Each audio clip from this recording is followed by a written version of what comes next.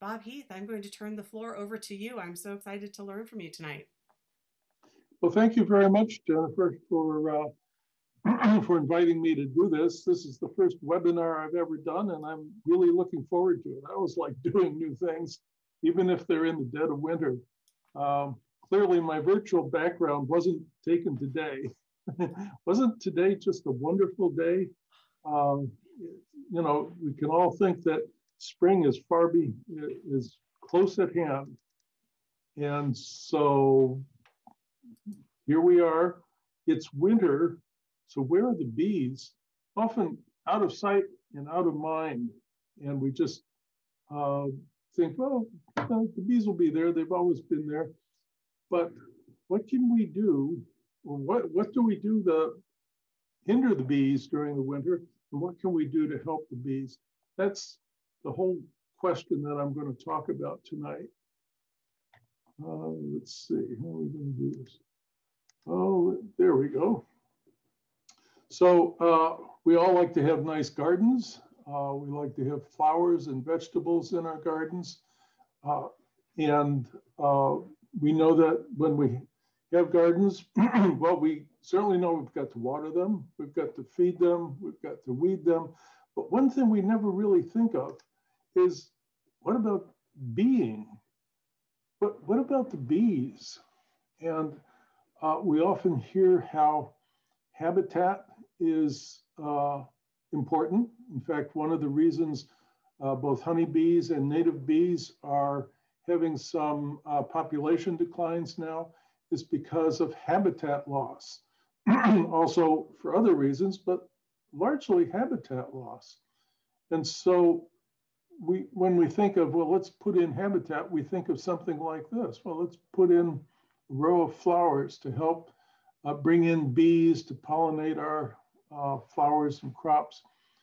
But most bees really don't fly very far. We think of honeybees as flying three miles, and of course, bumblebees and uh, carpenter bees can fly uh, several miles to find their uh, floral resources.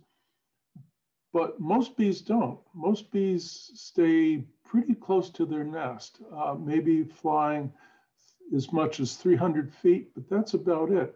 So when we say we want to provide habitat for bees, we also have to think in terms of providing habitat so that they can overwinter. And bees, the reason we focus on bees is they're not the only pollinator but they are certainly the most important pollinator. Uh, in fact, many flowers can be pollinated only by bees. Uh, and of those, some can be pollinated only by certain bees. As I said, while some bees fly, can fly up to three miles, your larger bees like honeybees and bumblebees, uh, most stay pretty close to home.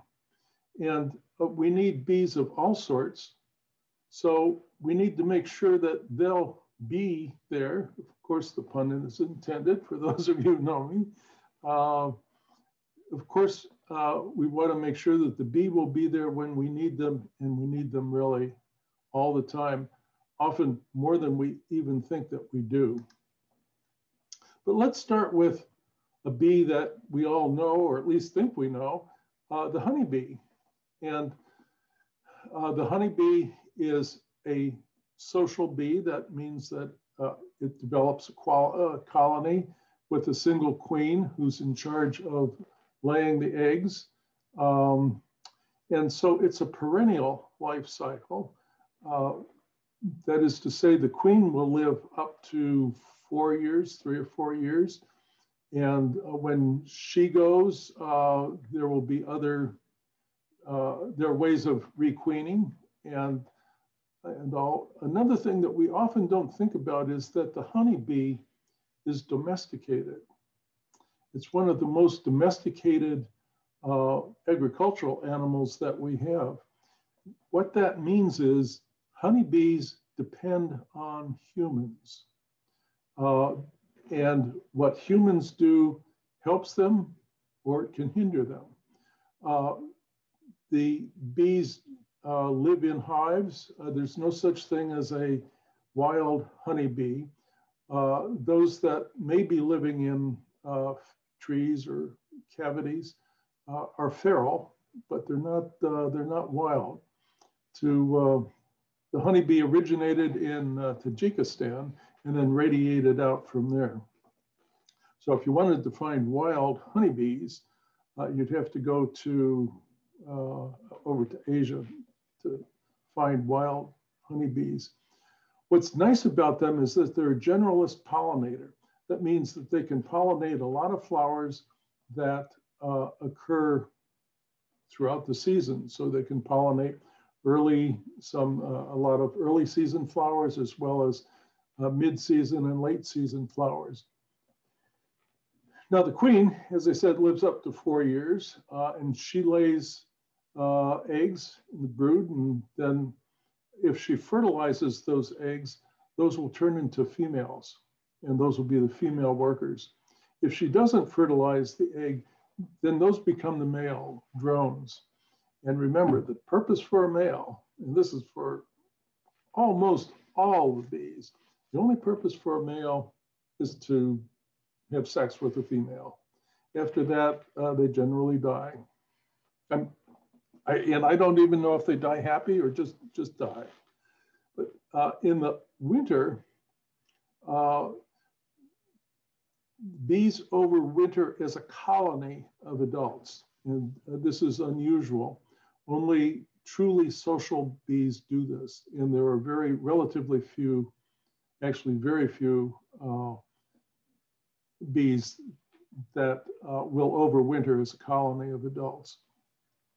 Uh, and they do this by the workers clustering around the queen, and they survive on the stored honey that has been provided there through the season.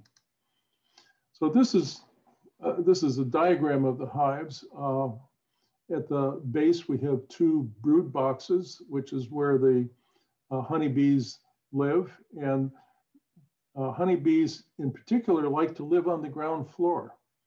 And they like to store honey up in the attic. And so uh, people who keep honeybees, as my wife Beth and I do, we, we keep it for the honey. And a lot of people keep honeybees for the honey. And those are uh, then stored in these upper boxes, which are called supers, meaning they're in addition to the regular hive. The bee, the colonies will range from 20,000 to 50,000 individuals. Uh, some have been recorded as uh, a little bit more than that, but that's generally it. And that's a pretty good sized colony. Uh, the uh, worker bees then go out and gather nectar and pollen uh, from April through October. Uh, they convert the nectar to honey. And if you're interested in keeping honeybees for the honey, they're the only species. You don't have any choice in that. They're the only species of bee that you can keep in North America. There are worldwide, there are uh, six other species, uh, but here in North America, the only uh, bee that makes excessive amounts of honey is the honeybee. And the bees use the honey as a source of carbohydrates. Uh, they use the pollen as a protein source, which is necessary for when the bees are growing. And then often honeybees need to have sources of water from the field. And so if you're keeping honeybees, you want to make sure that they have some source of uh, water available. One of the important things about honeybees is that they're commercially useful. Uh, for example, in California, the uh, California almond groves are really highly dependent on the presence of honeybees that are trucked in uh, literally by the truckload uh, for pollination purposes. And so honeybees are important in that sense. Now let's let's see what happens as they uh, as we approach winter. Well, this is this is a picture of one of our hives, and the honeybee colonies are in these hives. We've, as you can see, we've taken off the supers uh, because the honeybees will overwinter as a colony of adults. And because of that, we have to make sure that they have sufficient honey and pollen. Uh, and so uh, the success of a hive through the winter depends on them having a large enough colony.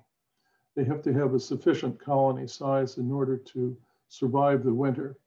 What that means then practically is you, if you're going to rob them of the honey, you have to rob before mid-September. And that's because you want to make sure that there's still flowers, goldenrods, and those sorts of things that are out there that the bees can use to allow the colony to grow. And during winter, this is what happens is the colony is generally, as I say, on the ground floor and they're surrounding the queen shown here in this little yellow dot. and the colony, if it's good size, it, it will look like this and the honey will be stored in this upper box and on the sides in the lower box. And as winter progresses, that colony will move upward and uh, they will consume the honey. They also get tighter and tighter. Uh, the bees do take turns uh, being on the outer side here where it's colder and then they'll cycle back in. Uh, and so it's everything you would expect of these complex animals that they really know how, how to keep the queen uh, happy and alive through the winter. Then late winter, early spring, she will start to lay some brood. So it's at that point that she will need some, um, uh, some pollen to eat in order to support the brood. And the bees around her, the re remaining colony, then will uh, use the honey and the pollen reserves to begin feeding that brood so that the honeybees can come out and start uh, doing their thing as early as possible. And as early as possible, hmm, what does that mean? That means when the temperature goes up above 55 degrees for several days in a row, the bees will start flying. And it's at that point that their season begins, and then the colony begins all over again, as it were, to increase in its size and to do what we are normally accustomed to watching them do. But honeybees are very unique. They're not good models of bees in general. Native bees, that's every species of bee that we have in Ohio except the honeybee. Native bees, and in Ohio we have about 450 species of bees. Most of those are solitary or primitively social when I say primitively social, I mean they may develop a colony and have a queen to help them develop that quality or to really be in charge of developing that quality, colony. But they will have a, uh, a solitary portion of their annual life cycle. So they have an annual life cycle. Most bees live in the ground. Uh, most species are solitary. And uh, as I say, most of those live in the ground or they'll live in cavities, maybe stems of uh, dried out uh, weeds or dried out uh, twigs. Uh, some are specialists specializing on only one genus and in some cases even only on one species, uh, while others are generalists and will get nectar and pollen from many different flowers. But specialists, especially specialists in, oops, well, let's see, can I go back? Uh, Jennifer, help me go back. uh, there we go. Good job. Uh, so uh, even in the desert, specialists will specialize on only one species. And what that means is that they'll gather pollen only from that species, though they will gather nectar from uh, other flowers in the area. In terms of gathering pollen, many of them are, are better at it than honeybees. I'll talk more about that later, but many of them are better than honeybees. Um, as I said, they have an annual life cycle. Uh, most bees do not make excessive amounts of honey. And as I said before, in the United States, only honeybees, uh, Apis mellifera, will make excessive amounts of honey that you could gather. Uh, a lot of people think a bee can only sting you once. Well, that's true. that, that is fairly true for honeybees because they have the barbed stinger. And so when they sting you and then fly away, the stinger and the entrails stay with you. uh, and that then that bee will die. That's not true of uh, most bees. Although uh, my experience with native bees is yes, they can sting you multiple times, but the only times I've been stung uh, by a native bee is when I was really asking for it. and so uh, actually, uh, you're very safe around native bees. Uh, many of them really can't sting you uh, in the sense that they just don't have a stinger that's long enough to penetrate uh, your skin. And of course, only the females can sting. So if you happen to encounter a male bee, uh, you, you can catch it with your hand and hold it around and amaze and amuse your friends. Well, we know that honeybee populations are having a lot of trouble and are in decline. Uh, some estimates are that between a quarter and as many as a half of the uh, colonies are lost per year. That's not true of uh, native bees. Uh, yes, some native native bee populations are in decline. Uh, some are stable. And actually, some are increasing, even here in Ohio.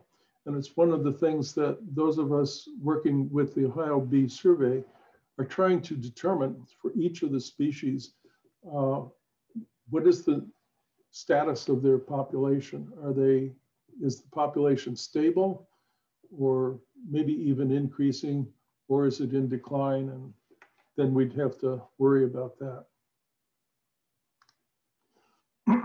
so for these reasons, we need to support native bees. We can't, uh, we can no more save the decline in pollination capabilities by having everyone keep honeybees any more than we could save the decline in bird populations by everyone keeping chickens. So and it's also for many reasons. First of all, honeybees won't pollinate many important crops, even things that we like to have in our gardens like tomatoes, peppers, eggplants, anything in the Solanaceae family. Uh, they can't pollinate because the flower pops them on their nose as they try to go into the flower. So on these, we need to depend on other bees. Also, some native bees pollinate flowers 50 to 100 times faster than honeybees. Honeybees, when they're looking at a flower, they'll kind of hang around and then they'll go in and get the nectar or the pollen. Uh, there are some bees that toon, toon, toon, toon, and even taking pictures of them, uh, trying to take pictures of them can be difficult because they're flying around so fast. Some native bees are not experiencing the same declines and, decrease, uh, and diseases as honeybees. Uh, those who keep honeybees know well, a lot of the problem is with the varroa mite, which is not only a parasite on the bee, but is also a vector for many of the viruses that cause their um, lethal diseases. Uh, the varroa mite is species specific. It's uh, to the honey, to uh, Apis mellifera. So native bees don't have problems with that particular varroa mite, though there are other mites that attack uh, some species of native bees. Here's something also to uh, keep in mind that uh, some native bees are specialists. Uh, for example, the alfalfa bee and the uh, blueberry bee, uh, they are specialists on those particular crops. And there are even some genera of crops that depend on those particular bees to uh, pollinate them. So you have to, we have to think in terms of not only the bees being there to pollinate the flowers uh, and the flowers being there to support the bees. Uh, so we need to give more attention to these couplets, especially where there are um, bees that are specialists on those flowers or crops. And then finally, although the jury is out, there's not a definite, uh, it's not definite, but one of the things we've had to wonder is, is it possible to have too many honeybee colonies in a given area? And a recent paper that I'll refer to, uh, I'll show you the reference later, uh, that just came out uh, says, yes, it is. And even putting in pollinator strips in uh, uh, fields of crops is insufficient to uh, overcome the, the competitive pressure that honeybees put on some native bees. So this is something that uh, we also have to keep in mind when we think of trying to solve our problems with honeybees. We may be uh, doing ourselves more harm than good by thinking only in terms of uh, having honeybees. So the rest of this talk I'd like to devote to native bees and they overwinter in different ways. Uh, so we need to understand uh, the species and how they overwinter, and especially what we can do to help or what we can stop doing that's hindering them. And uh, yeah, there's a little, there are lessons in both. And I'd like to uh, do this as simply as possible. So I'm going to talk about uh, the two nectar flows that we have. Uh, you're familiar with them, you've seen them, but you may not be fully aware of them, although you will this spring because you're listening to this lecture. Uh, there's the spring nectar flow, which is those flowers that come out in the spring. And then that those flowers uh, last between, they'll come out sometime and last between uh, April, May, and halfway through June. And then we go into what's called the summer dearth, where between the middle of June to towards the end of July, certainly towards the into the middle of July, there really aren't many floral resources. And after that, then we have a lot of flowers coming out. That's when you have your goldenrods and uh, sunflowers and all of those coming out. And the bees know that, you know, they've, they've evolved around this. So uh, you have your spring bees and you have your summer bees. And uh, I'm going to speak in generalities now. You know, this is biology. So you could always ask, wow, is it that simple? And the answer is always no, it's much more complex than that. But I'm going to speak in generalities tonight. If you want to know specifics, you can ask uh, later but I'm going to uh, speak in generalities uh, so that it's uh, comprehensible. And uh, the way I'm going to do this is talk about the life cycle of any bee and then ask where in that life cycle uh, do they hibernate? Do they uh, overwinter or go into winter diapause? We know, we all know that, well, the adult female uh, who's been fertilized will lay eggs and she'll either fertilize those eggs when she's laying them or she won't. If she fertilizes them, they turn into females. If she doesn't fertilize the egg, it turns into males. those eggs will hatch and then go into a larval stage. And the larva looks like a little worm. It starts off looking like a little worm or a little grub. And then this is the uh, pollen ball that uh, she has provided one way or another. Uh, species differ greatly into how they do that and exactly what the larva looks like, but basically that's it. Now the larva will grow and as it grows, it molts its exoskeleton and then enlarges and grows into another form and it will go through five molts. So it grows into a larger grub-like uh, form, larva. This is larva in the uh, fifth stage. Uh, so it's gone through four moltings, then fifth one comes out and it's this one. And it's this one, uh, which is called the prepupa, uh, because it's gonna make a cocoon. Uh, many of them make a cocoon at this point. Many don't. They do it in other ways, but they will uh, be in a cavity and then spin a cocoon. And in that cocoon, then they will uh, metamorphose into a pupa. And you can see the pupa looks very different than the larva. And it's really starting to look like a bee. You know, here you have, you have the head, and then you have the thorax, and you have an abdomen, and you can see here are the wing buds, and here are the legs. So it's really starting to look like a bee. And uh, the pupa then metamorphoses into the adult, and the adult emerges, and that's what we see.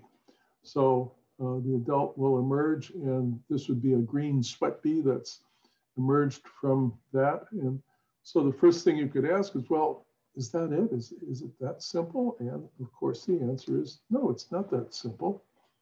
When the pupa uh, metamorphoses into adults, uh, there are adult males and there are adult females. And the adult males have the sperm and they need to fertilize the uh, females. And so they will do that. It's mating. You can see the, the sperm was passed from the males to the females. She's now fertile, and the male often isn't even studied as to what happens to the males. They just go off and die. Um, and so that's the generalities of the life cycle of any bee. Well, where do they overwinter? The egg stage is very fragile. So uh, no bee uh, overwinters in the egg stage.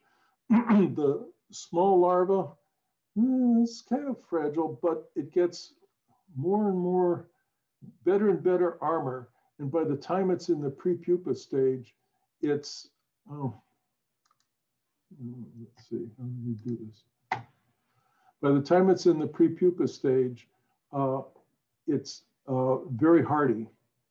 Then the prepupa changes into the pupa in a cocoon, perhaps, or not. And the pupa stage is very fragile, but it will metamorphose into the adult.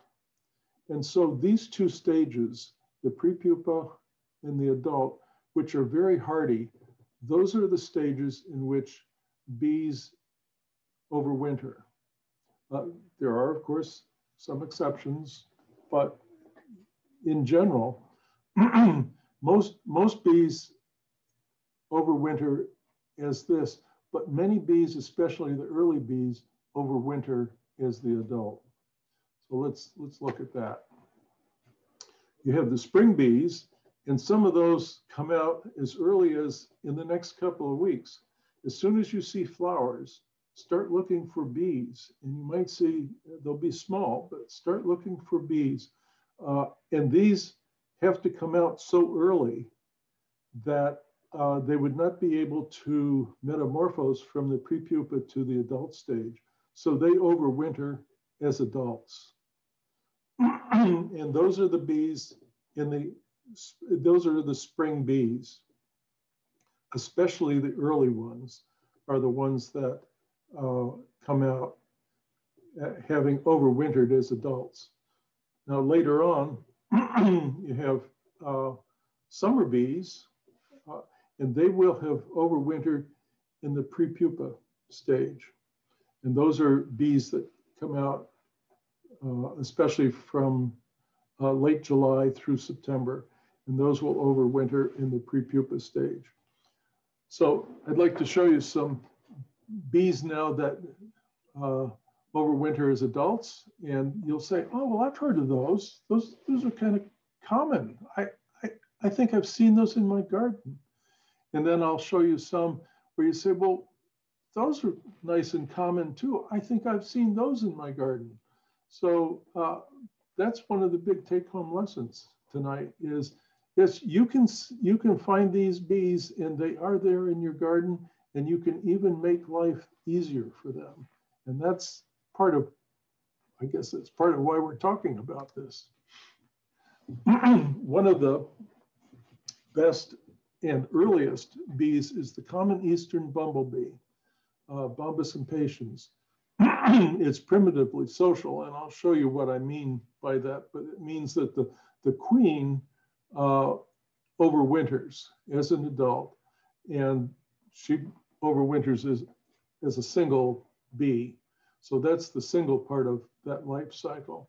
Uh, it is an annual life cycle. The queen emerges early, finds a nest, and she will, uh, once she has found the nest and has started uh, laying brood, she will stay in that nest for the rest of her life and will die there. the native populations of common eastern bumblebees, the best data that we have now is that these populations are increasing in Ohio of this particular species, the Bombus impatiens. Uh, they are ground nesters uh, and they're generalist pollinators.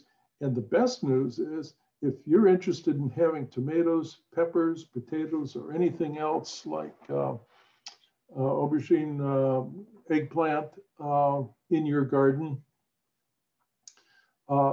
then you really want to help bumblebees get there because they have a special little trick up their sleeves or really a little trick up their wing muscles where they can go into the flower and buzz pollinate. and honeybees can't do that. So honeybees get bopped on the nose and they say, well, we'll just go find another flower. But bumblebees and carpenter bees can both uh, buzz pollinate. One nice thing about uh, common eastern bumblebee is that it's commercially useful in greenhouses. Excuse me. Uh, uh, honeybees, for example, uh, get disoriented when they get into a greenhouse, but bumblebees, oh, they just love it. So people, the growers who are depending on growing crops in greenhouses, are more and more finding ways to use bumblebees in those greenhouses. So let me show you the life cycle of uh, the of this bumblebee. she hibernates, she over overwinters in her hibernation cell. Uh, if you want a fancy word, it's a hibernaculum, but uh, she overwinters in that, and then in mid-March uh, or uh, anywhere between mid-March and uh, end of April, she will emerge from that and then start looking for a place to nest. And she looks for a nesting place. Uh, so you may see these bumblebees kind of hovering about six inches over the ground and it, it's pretty clear she's looking for something. And what she's looking for is the ideal place to nest. Excuse me. So when she finds that, then she lays an egg. The egg hatches, turns into a larva. The larva goes through its five molting stages, go into a pupa. Uh, and then the pupa metamorphoses into the adult and it's those daughters of this queen. So here you see the queen in 2021. This, this is this year's queen. And her daughters then are the ones that you see flying out on the flowers. Well, that's April to October, to mid-September or October. Then somewhere in there, she uh, stops fertilizing some of the eggs. So those will be males. And she also lays some eggs and the colony feeds those uh, larvae uh, special food. I mean, they feed her more food. And so then you have males emerging, male bumblebees emerging, and you have virgin queens emerging in, say, around late September or through mid October. And of course, the males are out there. The males uh, emerge a little bit earlier than the females, and they are just waiting. And they're waiting to uh, mate with the queens. And once they mate, she's then fertile. And a fertilized queen then goes looking for a place to hibernate. And she'll hibernate in holes in the ground. There might be um, mouse holes or something of that sort that she is trying to find. And that's where she will hibernate. So she hibernates as the adult, as a single bee. All the other bees die. All the other uh, bumblebees die. so how can we help, excuse me, how can we help bumblebees overwinter and nest in your yard? Should we prep the ground in special ways or poke holes in? it? No, please don't. Just these bees have evolved. They, they know what they're doing. And so we want to keep our yard, or at least parts of our yard, as natural as possible. Uh, they will, they like to hunt under dried leaves and over bare earth. And especially the, they like it if they're near some kind of a water source. So when she emerges she can easily find water. so in short, don't try to uh, don't try to do anything uh, exceptional. Just let her be. now, I'd like to talk about another bee. This is, uh, while the bumblebee is primitively social, the uh, blue orchard bee is truly a solitary bee meaning there aren't any queens in this. They're not going to form a colony or anything like that. It's a solitary bee. Uh, the female uh, will emerge, uh, mate with males that emerge at the same time. so they have an annual life cycle. Uh, the uh, blue orchard bee is native to Ohio. and it uh, nests in tubular cavities. It's a very, very efficient pollinator. This is one I was mentioning that's uh, 50 to 100 times uh, more efficient than uh, honeybee. What that means is uh, in the time that it takes a honeybee to pollinate one or two flowers, uh, this bee will have pollinated 50 to 100. what's interesting is that they pollinate, uh, they like, they especially like to pollinate uh, families or uh, species in the Rosaceae family. And those would be things like cherries and plums and early apples.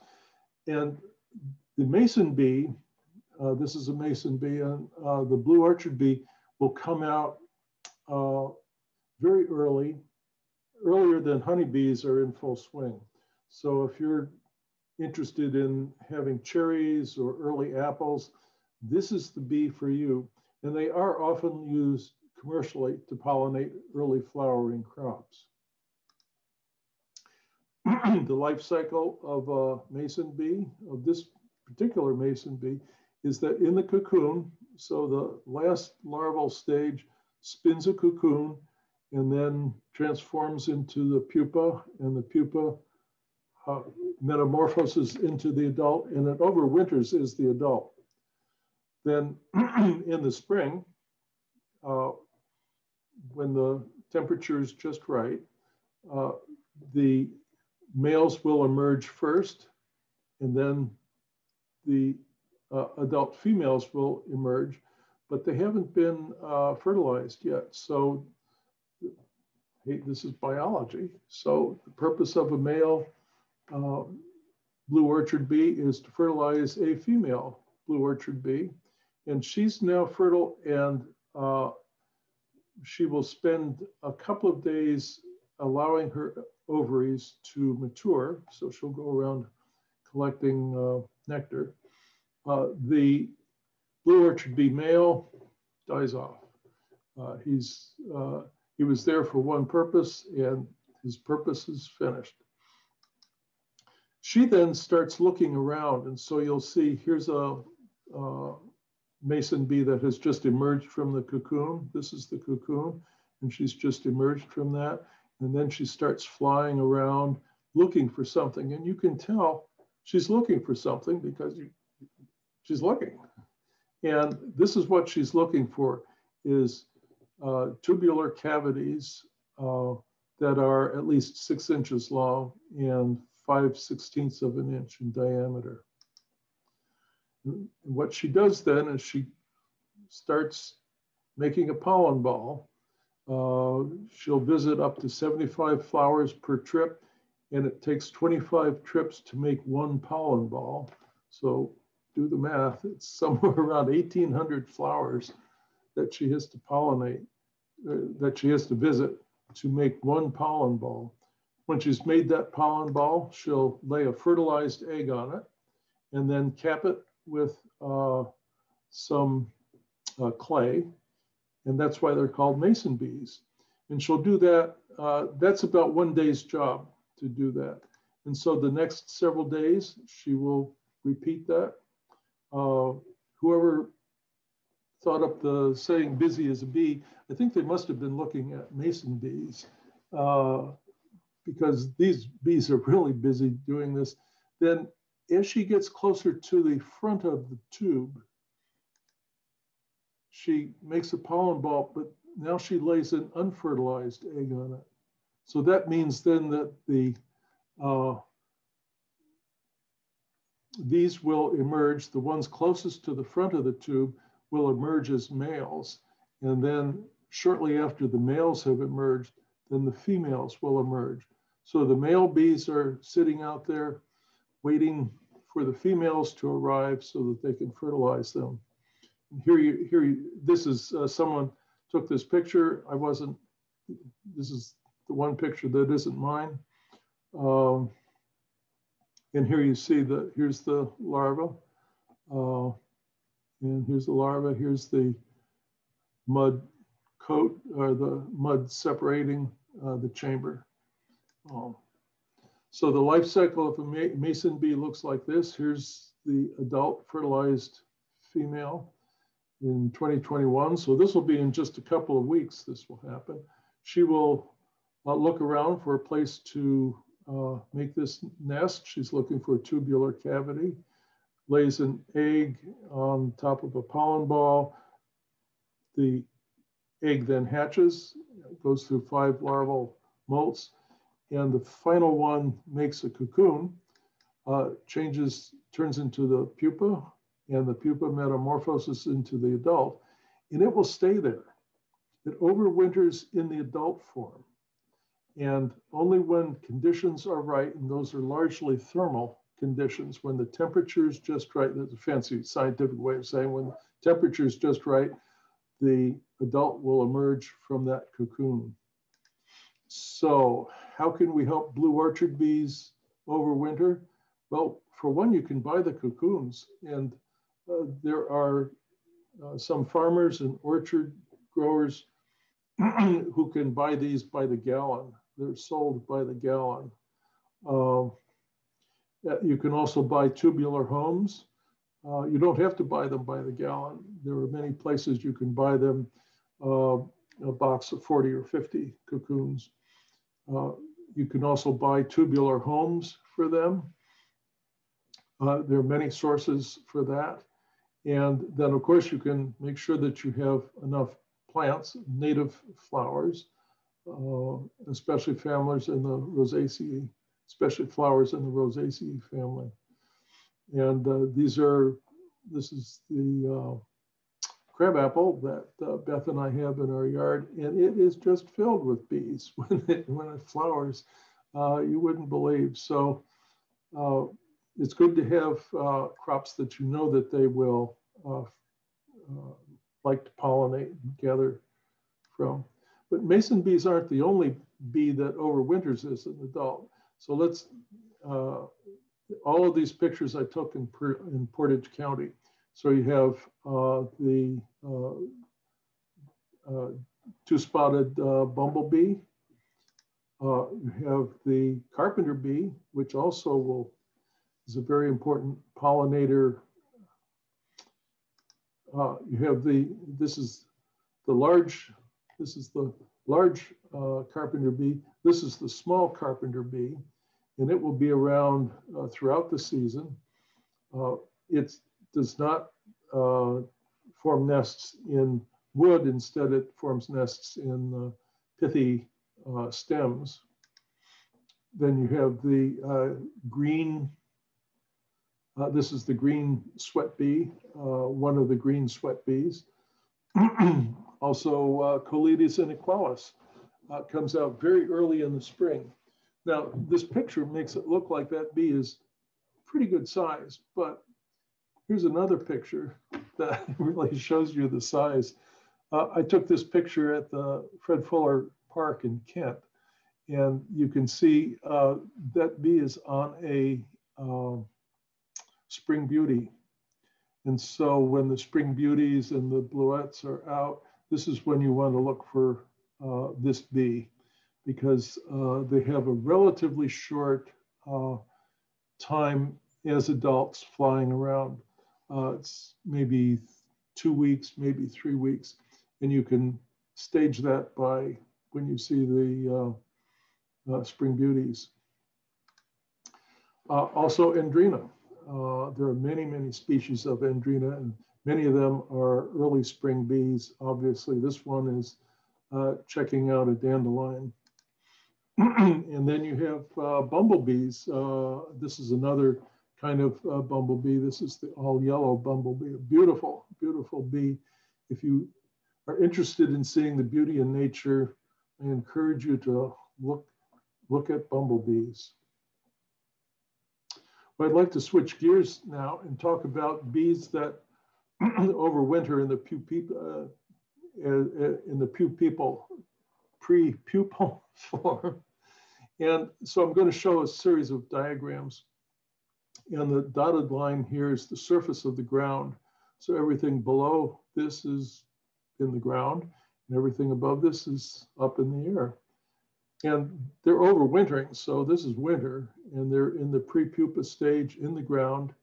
Uh, when as the ground warms, uh, and here in our area, this would be largely when the temperature is just right, then they will change and go into a pupal stage, the pupa uh, readily transforms into an adult and the adults emerge. And that's when we see them flying around. And I've kind of overdrawn the size of this box because they may be around for only a couple of weeks. I've shown them here for a couple of months, but they may be around for only a couple of weeks. Uh, the adults then look for uh, nests. Usually they form nests in the ground.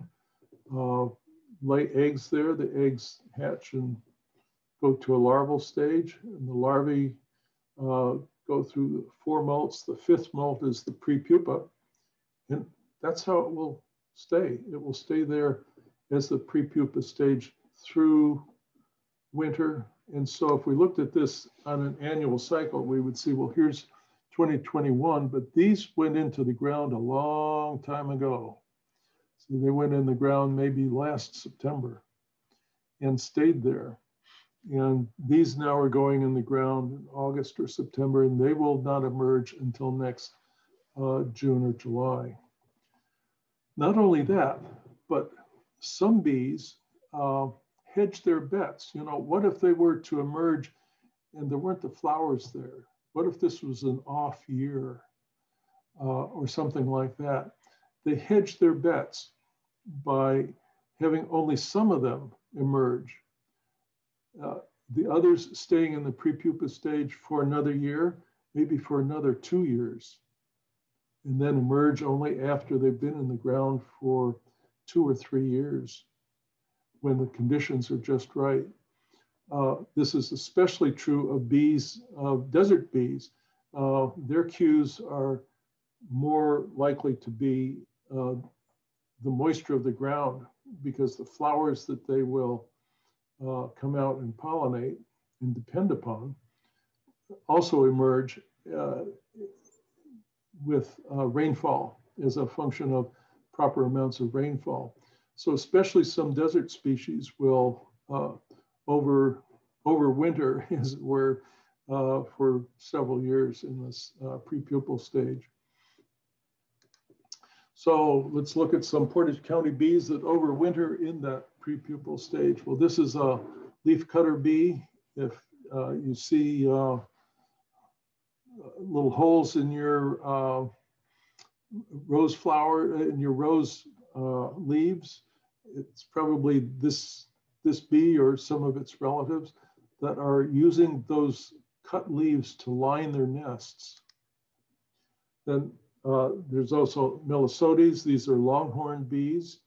Um, there are many species of Melissodes.